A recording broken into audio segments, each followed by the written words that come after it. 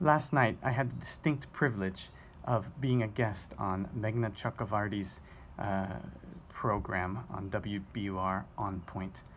Um, we were talking about the global supply chain and the shock of this uh, COVID 19 pandemic.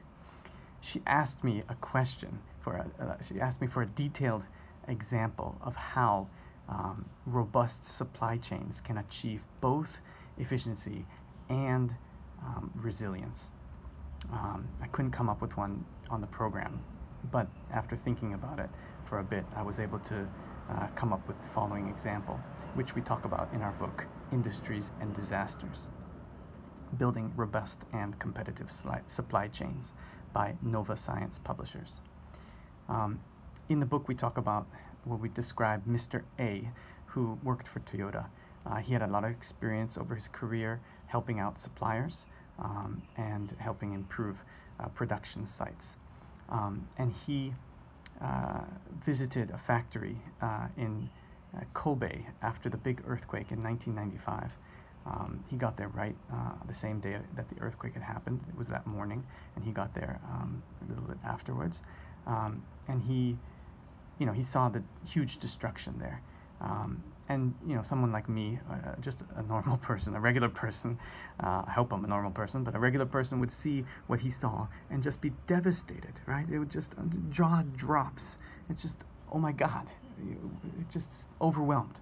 But uh, mr a with all his experience uh, he was able to uh, see the site um, and break it down into um, many small problems. It's one huge problem to the um, to the eye of someone not used to seeing uh, problems and how they can be solved. Um, so, um, in his daily experience, uh, he's working each day to solve a problem, uh, working with others to solve problems, um, and you know on that day, all those problems which had typically been arranged uh, horizontally had been arranged vertically on the same day, all the problems were together.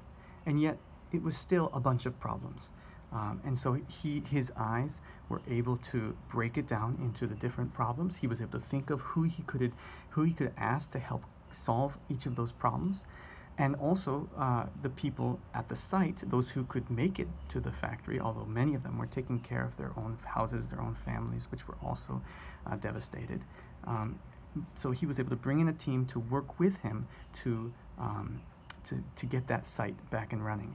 And the owner of that supplier, the uh, well, the, the the plant manager at the supplier, um, he and and his team said this is going to take three months to fix, uh, and Mr. A said it's going to take three days, and it did take three days, um, because that's the typical time they're able to uh, set up a new line, do things quickly. They're used to doing things fast, so he knew it could be done, and it was done.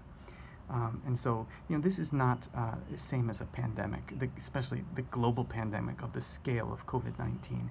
This was an earthquake, somewhat localized, still quite devastating, but uh, nothing compared to the supply chain shock that uh, this global pandemic is having, or even the global, uh, the supply chain shock that happened uh, in 2011 from the uh, Great Japan, Great East Japan earthquake uh, on March 11th. But um, to take lessons from this experience, we can still uh, apply them to the global pandemic uh, and, and the supply chain disruption. For example, in the United States, uh, it's not a uniform lockdown, right? There's a lot of variation by state in terms of uh, who is able to get about, who are defined as essential workers, and how they are to get to their uh, essential sites. Um, and so there, there is still, uh, you know, quite a lot of variety. And so you cannot have just one top-down solution that's going to solve all these problems.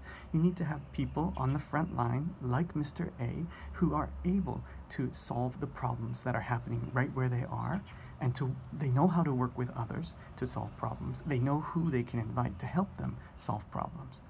And so I think um, this detailed example can help explain why um, a robust supply chain is able to keep, have both efficiency and resiliency, which I hope in this new, um, new chance we have to um, build a, a, new economic system post COVID 19 Uh, I hope we can uh, empower the workers, and more companies can empower the workers um, and to use uh, their problem solving skills uh, for the good of the company, for the good of society, um, and of course for the good of themselves as well.